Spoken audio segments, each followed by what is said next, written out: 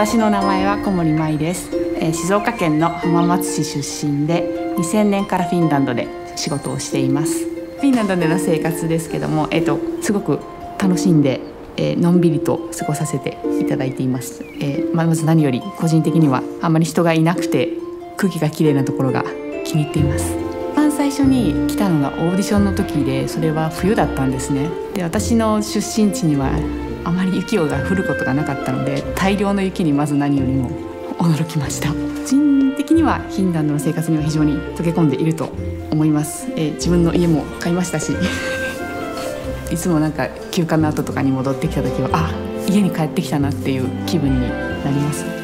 今回、えーと、このムービンバレーに参加させていただいて私はニスクネイトをやってるんですけども、えっと、今までとは違ったそのキャラクターを